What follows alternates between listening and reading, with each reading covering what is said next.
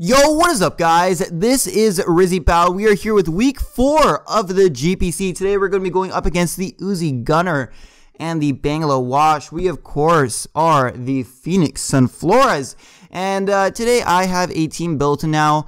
I don't have this team. Uh, I didn't spend too much time on this team as I do on other weeks, just because I've had to build like five teams in like three days uh, this week because I was participating in the March Madness tournament, which happened yesterday. This video is uploaded on Sunday, and the March Madness happened yesterday. It was really, really fun, and I am actually kind of honored to be uh, invited as an all-star to it, and it was amazing. I got to meet so many new people. I got to play against so many people that I've never dreamed of playing. Like, uh, well, you guys will see. I'm going to end up uploading all of the replays of the matches, and it's going to be amazing. I'm really happy uh, about that. That was so much fun. But um, today we're going to be going up against Uzi. So uh, I had Tom help me a lot on this team. Uh, he helped me build this team uh, quite a bit. So shout out to him, I guess. Uh, and uh, if you guys want to skip to the actual battle, there will be a there will be a what is it? A time thing in the description so you can just go do that if you really really want but you know what I don't think you should do that because I think you should go and look at my sexy team that I have built for Uzi okay and also this is actually the first time that I'm going to be recording my uh, my team preview thing after the match has already happened so I've already played Uzi but I'm recording this after the fact that I've played him. Um, this is the first time just because I've been really, really busy. I didn't have time to record a team builder earlier. So that is that.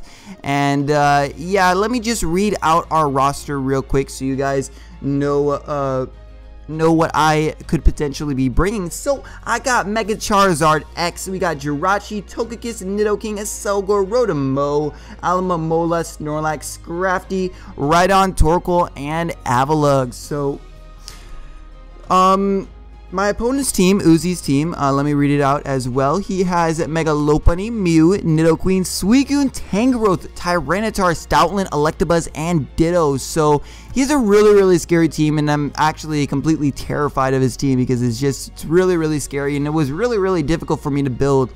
Uh, and that's why another reason why Tom helped me a lot with this team. But um, the first uh, the first model that we decided to uh, build a team around was going to be Togekiss. Now originally I wanted to build around like a Rocky Helmet defensive Togekiss with Defog so I get to have some hazard control. But we ended up deciding to go with Charti Berry. Charti Berry is the rock rock resist berry. So uh, if you want to try and revenge kill me with Tyranitar, he ain't going to be able to do that. And I can lure him in and stuff like that. And I can Aura Sphere him and then he will die.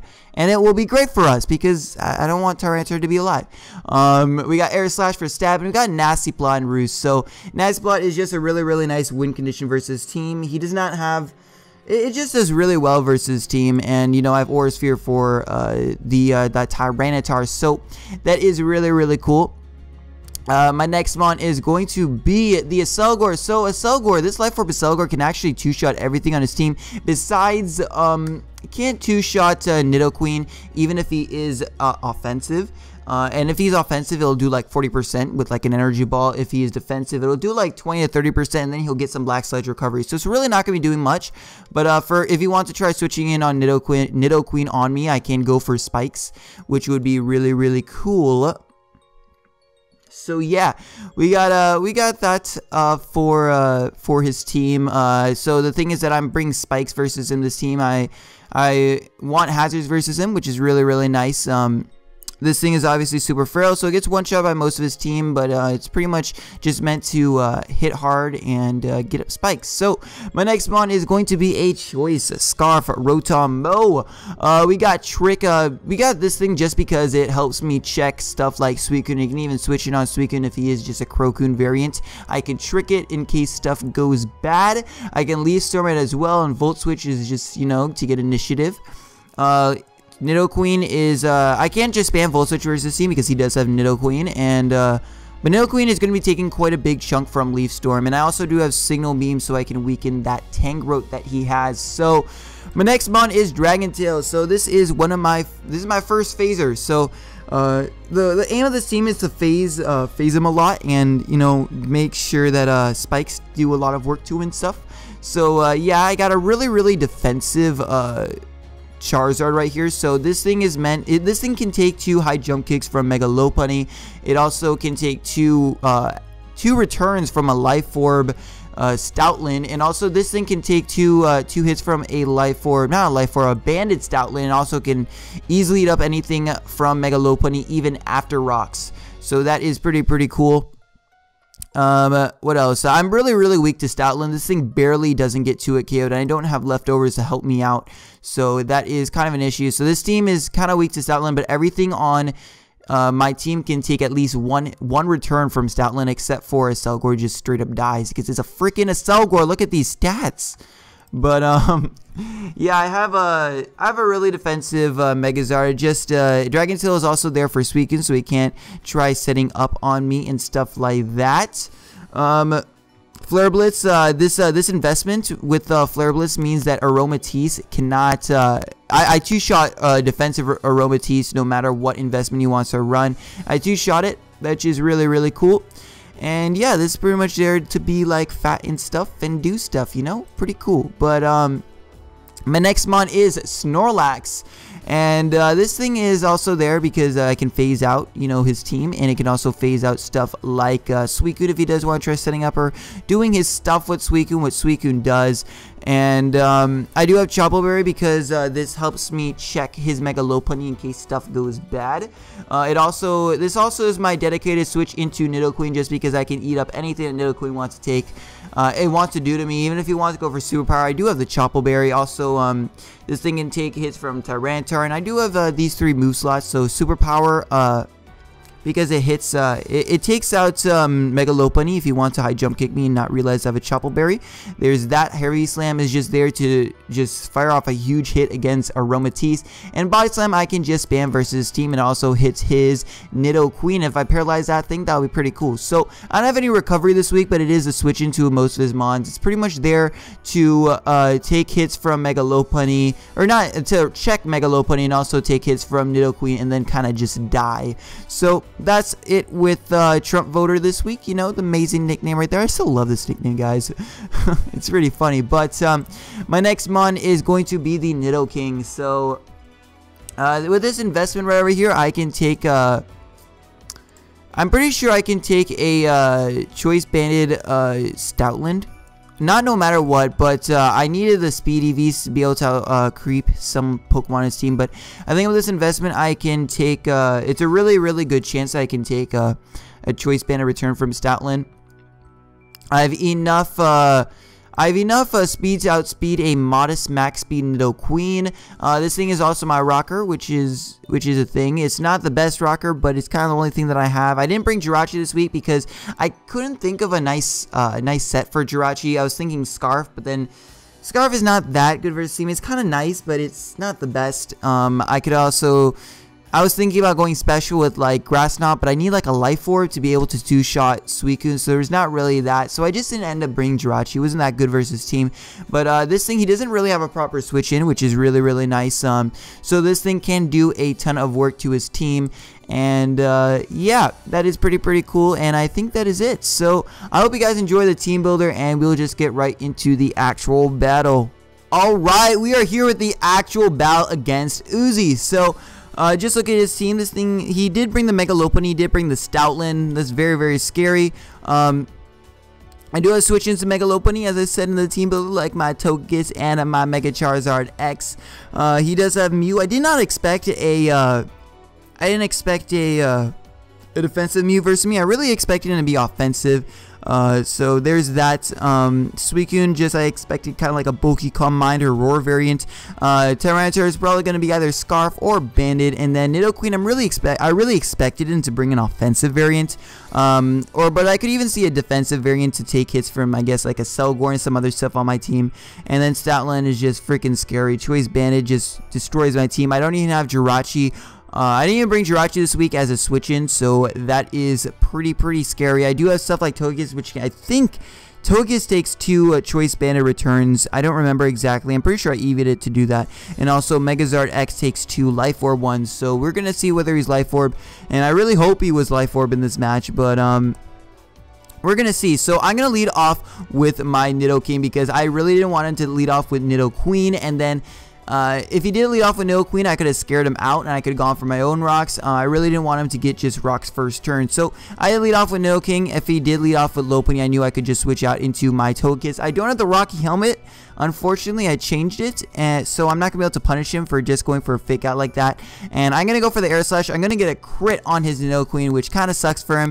And I'm now going to double out into my Nidoking because um, I really, really thought he was going to try getting up rocks versus me, and I wanted to be... Uh, I wanted uh, to play kind of aggressively because he does not have a uh, ground resist on his team. So I can just fire off Earth Powers versus this team right over here. So that's why I went out into Nidoking. And now he's going to go on to his Mew. And I'm going to get a crit right here, which really, really matters. Just because he does not... Uh, he's going to bring in Stoutland to revenge kill me right over here.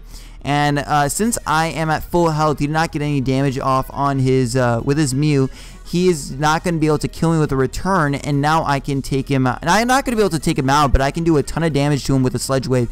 So I'm just going to let Nidoking go down. I knew he could take that one hit, so I decided uh, to just leave it in and uh, be able to get a ton of damage off on Stoutland because Stoutland is a huge threat to my team, and that is really, really nice that Stoutland is really, really weakened. So I'm now going to go out into my Megazard X and... Um, He's going to go for the return. Uh, and right over here, I decided to go for Dragon Tail instead of Flare Blitz because I really didn't want to take any extra recoil damage. Hindsight, I should have probably gone for Flare Blitz, but um, it was fine. And I thought even if he switched out, I got some nice chip damage off on something, so it would have been nice. But uh, unfortunately, that did not happen. I also kind of thought that since this turn of Sand ended, I might have been able to outspeed his uh, Stoutland. But unfortunately, that was not the case. So, um, unfortunately, that wasn't the case uh, because I do not speed it. I thought I might have been able to outspeed it, but um, I didn't, which really sucked that Dragon Tail missed, but you know, it's fine. I'm not going to be able to go on to this thing because I can revenge kill him, and uh, I'm just going to go for a Volt Switch, and that was... Uh, that was not the best. Uh, I should have probably gone for a Leaf Storm because he did not have anything that wanted to take a Leaf Storm. Uh, so in hindsight, that was not the best thing I could have done. Um, I really played kind of badly with Rotom-Mow, I think, in this match. Uh, I didn't go for the right moves at the right times, and um, I, am pausing this at really weird moments, but um, he's going to get his rocks up, and he actually has Toxapex, so that's kind of annoying, but not too too annoying because the Accelgor doesn't really care about them because it's not going to be taking any hits either way. And this thing has immunity, so I don't really care. This thing is above the ground. This thing is above the ground. So I don't really care about Toxic Spikes. He's going to get two layers up, and I'm going to take him out with a Body Slam. So Nidoqueen is down, and uh, he's going to go out into his uh, Suicune right here. And I went for Whirlwind, I think. Yeah, I did. So not yeah. He I since uh, he went first, he knows I have whirlwind. So I went for whirlwind right there, and uh, I was phased out into my Accelgor, which means that I can now start setting up spikes versus him. I need two layers of spikes so that Stoutland cannot just uh, so that Stoutland dies uh, which is what I wanted because I don't want Stoutland alive. And uh, he's just going to go for Scald right here. I really thought he'd go for Roar right here just because uh, I this prevents me from getting up two layers of spikes. But he allows me to get two layers of spikes, which means that Stoutland is now dead, which is really, really nice. Uh, now I can just go out into my Rotom-Mow, and I should have clicked Leaf Storm. I don't know why I clicked Volt Switch again, because now this means that he can go out into his uh, Tyranitar, and he can... Uh, I, I'm forced to go for Volt Switch. I could have, if I was locked into Leaf Storm, I could have just killed him right here, but um, I wasn't. I could have gotten a kill, but I guess this would have... Yeah, I think I might have been able to uh, allow his Mega Lopunny in, and I don't think I had to switch into Mega Lopunny because uh, rocks are up. So I guess this might have been better. Uh, but he does he's able to get a pursuit off on me, and that does a ton of damage. He is banded. And that is pretty annoying. So I know I can take any one hit from this thing, especially because I do have the Chople Berry. And then I can kill it with a superpower. So that's what I do. I just... No, actually I don't go for superpower just yet. I think I just go for a Whirlwind. Yeah, I go for a Whirlwind right here because I can face stuff out and I can get some chip damage. So I got nice, some nice chip damage off on Suicune. And now I know I can take any one hit and then I go for Super Power right here. So his Tyranitar is going to die, which is really, really nice. And I'm just looking a really good position for my Togekiss to win this game. So I'm just going to let my uh, my Snorlax go down right here as it does. And I'm going to bring in my Togekiss because I know I can roost up on this thing. And then I can set up on Suicune. He could obviously go for Roar, but... Um, he could go for Roar, but the thing is he doesn't want my, uh, I didn't think he would because he doesn't want my, uh, my Rotom cut to come in. So that is it. Um, and so uh, yeah, I'm just going to be able to go for the Nasty Plot right here. He doesn't go for the Roar. He goes for the Scald. He does not get the burn. Or does he get the burn? No, he doesn't get the burn. And now I can just go for the Air Slash. I flinch him. That is really nice. And now I just win the game with my Togekiss. So that is really, really good for me. Um, Togekiss came through. Togekiss is amazing. Nasty Plot Togekiss was beautiful. And yeah, I don't know. I don't know why I said that. But um, yeah, I hope you guys enjoyed. We are doing pretty well in the league so far. We got two 5-0s, and then we got 5-0'd by Bob, which was a really, really bad match, unfortunately. And uh, we got a 2-0 right here, so we're in a pretty good position. Um, if we can uh, not lose too many times, we have a good chance to making the playoffs. Next week, uh, we have five more matches left for this season, and I'm really, really excited to see what happens. Um, I was really, really scared about Uzi, and I'm really happy I won that match, but um, there's a lot of hacks involved, like uh, that crit on uh, Nidoqueen and that crit on... Uh, that crit on Mew was a really, really big deal, so that kind of sucked. But um, I hope you guys overall enjoyed, and hope to see you guys next time. Peace.